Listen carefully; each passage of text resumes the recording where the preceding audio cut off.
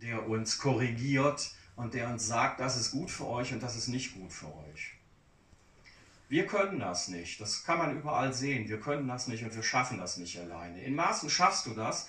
Das ist eine Frage des Trainings, wie gesagt. Aber in der Regel schaffst du das nicht alleine. Und deswegen brauchst du einen, der dir dabei hilft und der dir die Unterstützung gibt.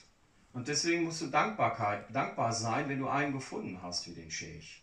Einen wirklichen, der in der Realität lebt, in der, wie der Sheikh sagt, in, in der wirklichen Wirklichkeit, in der Real Reality.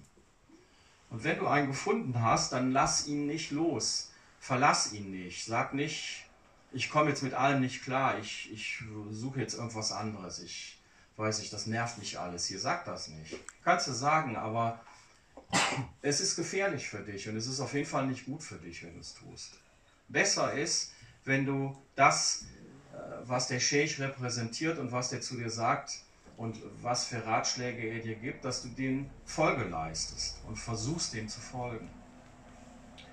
Wir haben gesagt, um eine, wir sind in, der, in dieser Welt hier und wir würden, der Sheikh hat das früher immer gesagt, in 100 Jahren sitzt keiner von, saß keiner von euch hier und in 100, in 100 Jahren wird auch keiner mehr hier sitzen. Das ist für jeden klar, ne? weil keiner 150 Jahre oder wie alt wird. So, das ist damit gemeint. Das heißt, diese Welt, die ist endlich. Das, was wir immer so denken, was unendlich ist. Wir, wir leben ja in dieser Illusion, dass wir denken, es geht alles immer so weiter. Ich mache jetzt, mach jetzt meine Schule, ich mache jetzt meine Ausbildung, dann heirate ich, dann kriege ich Kinder. Es geht immer so, immer weiter, immer weiter. Aber das ist ein Trugschluss. So ist das Leben nicht. Weil dieses Leben ist eigentlich nicht das Leben. Das ist nicht die Wirklichkeit und das ist auch nicht das Leben, sondern es ist eine Zwischenstation. Und diese Zwischenstation, was du auch immer da tust, du kannst alles machen. Sheikh Mehmet hat das kürzlich gesagt, du kannst alles machen, aber nicht Allah, aber nur, wenn du Allah nicht vergisst bei deinem Tun. Wenn du an Allah denkst, kannst du alles machen. Es ist keine Frage von, bin ich Millionär oder arm, bin ich Handwerker oder Softwareunternehmer oder was auch immer. Darum geht es überhaupt nicht kannst alles machen, aber du darfst Allah nicht vergessen. Das ist unsere Rettung.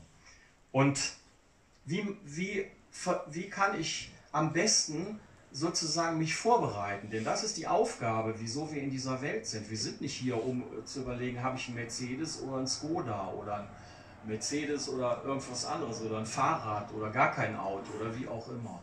Das ist alles letztendlich unwichtig und nicht nur zweitrangig, sondern ich sag mal hundertrangig oder noch mehrrangig. Unwichtig ist das. Es ist so, wie es ist. Und wie kannst du dich vorbereiten? Und eine, ein Ratschlag von unserem Sheikh ist gewesen, du kannst dich vorbereiten, indem du Geduld übst.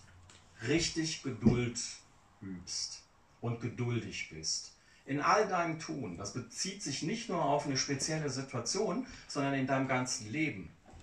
In deinem ganzen, ganzen Leben musst du geduldig sein.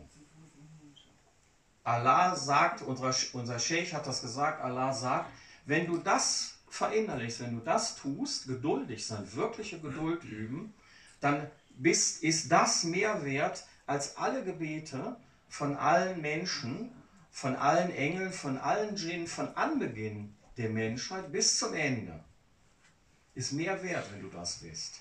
So einen hohen Stellenwert hat die Geduld. Und der Sheikh sagt, es gibt, oder man kann das einteilen, es gibt drei, drei Arten von Geduld. Die eine Art von Geduld ist, dass du geduldig bist, ich habe es eben gesagt, an der Kasse wartest im Supermarkt und nicht ausflippst, weil da vor dir einer sein Geld sucht oder so. Da kannst du das gut üben an solchen Dingen. Oder du stehst in der Behörde und es geht einfach nicht vorwärts und du siehst, die quatschen privat oder so. Ja, dann tun sie das eben. Ne? Kannst du auch geduldig sein. Die zweite Art, also all diese alltäglichen Dinge, würde ich mal sagen, da kann man das sehr, sehr gut überall üben.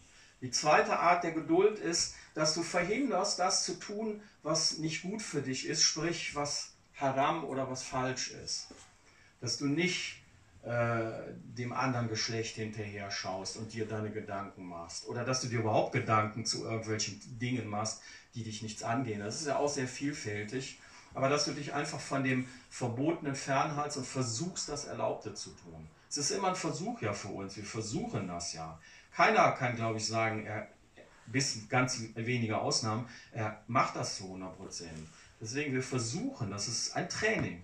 Jeden Tag versuchst du. Und jeden Tag wirst du besser, wenn du versuchst.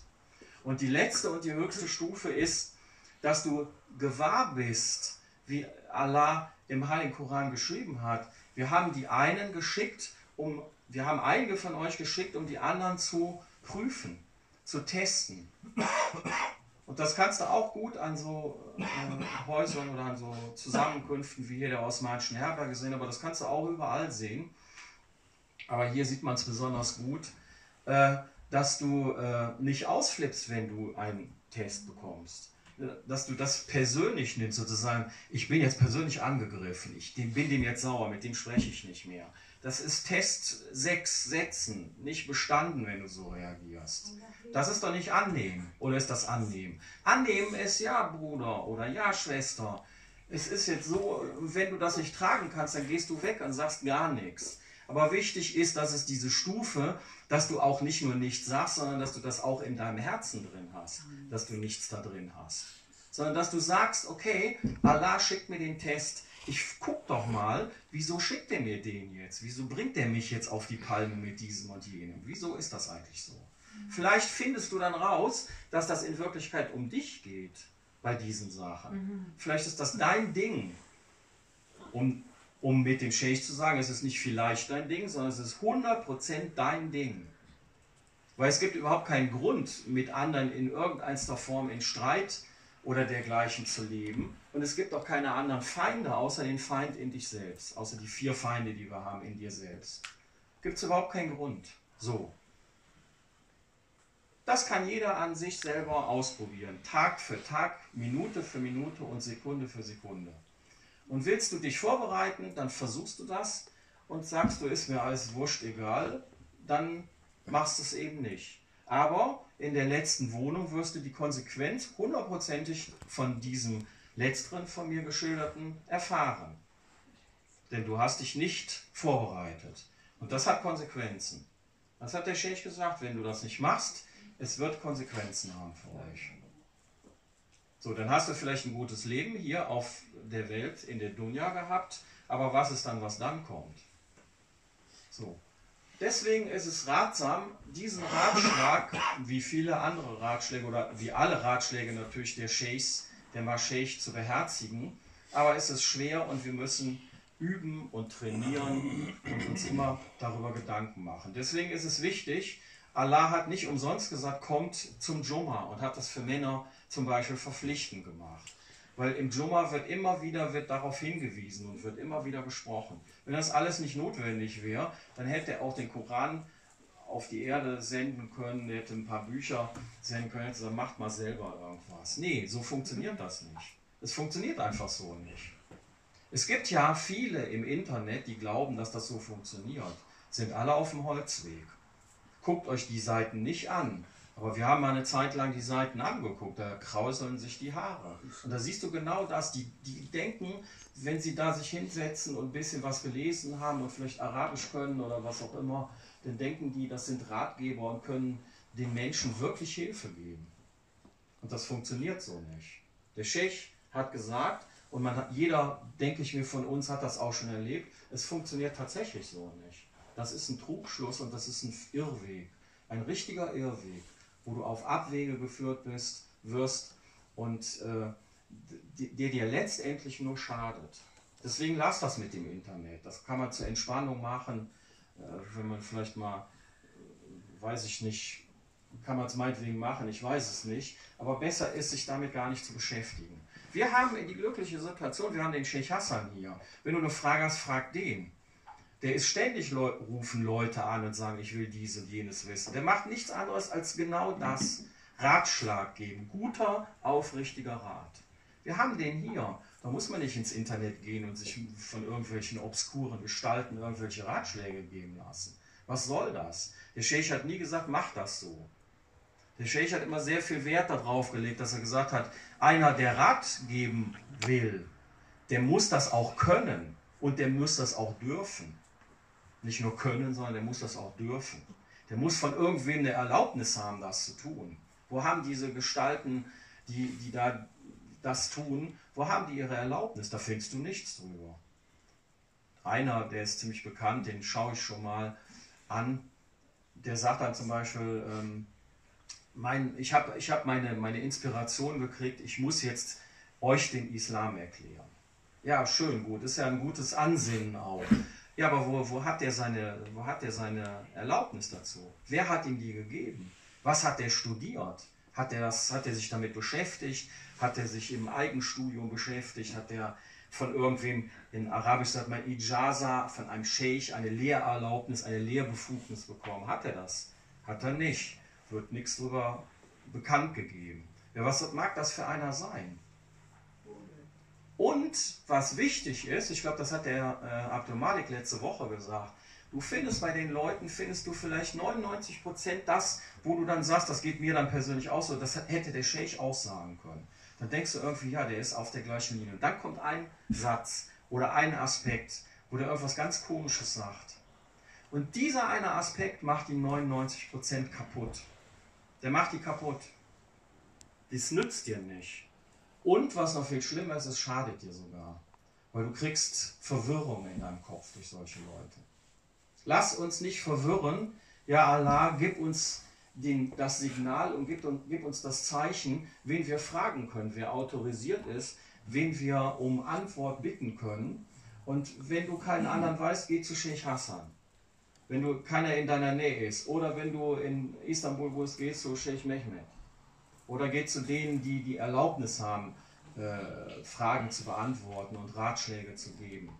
Dann bist du auf der sicheren Seite, weil die haben die Erlaubnis, die haben das Training und die haben die, die, ja, die Erlaubnis, das zu tun. Und die tun das auch. Und das ist deren Hauptaufgabe. Ein, oder eine der Hauptaufgaben. Möge Allah uns immer in, auf dem richtigen Pfad halten, wie Sheikh Nasim immer sagte, wenn ihr nicht wisst, geht den Weg der Mehrheit, geht den Weg, den Mittelweg, geht nicht ins Extreme, geht nicht dahin, guckt nicht da, das kann man alles machen, aber bleibt auf dem, was die Mehrheit macht. Wenn man das, wenn, wenn nur diesen Ratschlag alle Muslime beherzigen würden, dann gäbe es keinen Salafismus, dann gäbe es keine Moschee wie in Deutschland, wo eine Frau offiziell die Vorbeterin ist. Das gäbe es alles nicht. Das sind Einzeldinge. So, da kann man darüber Meinungen haben, wie man will, aber wenn man nur diesen Ratschlag geht, was die Mehrheit macht, gäbe es das nicht. Würde man das lassen und das lassen, ohne zu nachzudenken, ohne Gelehrter zu sein, ohne sich selber inhaltlich damit zu beschäftigen. Alleine dieser Ratschlag würde uns alle einigen. Das wäre im Grunde wäre das das Paradies in dieser Dunya-Welt wenn das so wäre. Aber so ist es nicht. Wir haben den Sheikh, wir hoffen, dass er uns lange, dass er lange gesund bleibt, dass er uns lange äh, Rede und Antwort steht, wenn wir Fragen haben, dass er uns hilft, dass wir sein, seine Jubba, wie, wie wir es gesagt haben, nicht loslassen, auch wenn es manchmal schwierig ist, und dass wir ihn oft sehen können, dass wir oft mit ihm zusammen sein können, dass wir nach Istanbul reisen, nach Lefke reisen, dass Makam von Sheikh Nasim besuchen, mhm. die Heiligen besuchen und dass wir auf diesem Wege in Sicherheit sind und in Sicherheit, in relativer Sicherheit in die nächste Welt kommen, ins Achera kommen.